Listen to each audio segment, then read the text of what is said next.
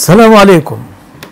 عليكم السلام ورحمة الله وبركاته. شيخنا آه نفع الله بك يا رب. وبك يا رب تفضل. آه شيخنا أنا عندي سؤال معلش عشان ده حج آه استفع صدرك ليا الله المستعان. أنا أنا مسافر من جدة. نعم. من القاهرة. أنا مسافر من القاهرة. تمام. إن شاء الله. وبعدين نزلت فوق الميقات قلت لبيك اللهم عمرة حسن. قل إن شاء الله بعد كده ما كنتش لابس الإحرام. أيوه. وبعدين نزلت في جدة. من غير الإحرام. قعدت في جدة. نعم. وبعد كده يومين. وبعد كده رحت جاي على مكة. ماشي. اعتمرت. لبست بقى الإحرام في الفندق في مكة. مم. أنا ما كنتش ناوي الحج أنا قلت لبيك اللهم عمرة ما كنتش متأكد إذا كنت هحج ولا لأ.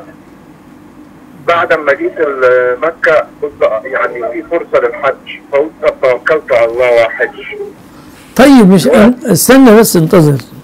أنت لبيت بالعمرة. بملابسك صح؟ آه. عليك الأول لأنك مرتكب محظور وهو لبس المخيط. فعليك إطعام ستة مساكين أو ذبح شاة أو صيام ثلاثة أيام لارتكابك المحظور بعد إهلالك بالحج. هذا أولا. ثانيا ما المانع وقد اعتمرت أن تحج متمتعا يعني خلاص اعتمرت الحمد لله تمت العمرة.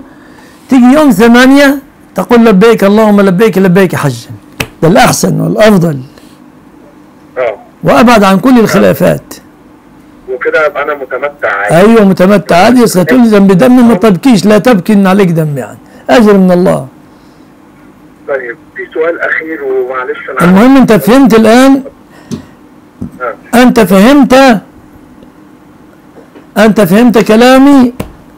أيوه فهمت حضرتك. إن شاء الله يوم 8 هلبس إحرامي وأتوكل على الله آه. وانوي الحج أيوة. على أت... اللهم اللهم لك الحمد. الله يتم هناك لك بإذن الله. الله يتقبل منا ومنك صالح العمل.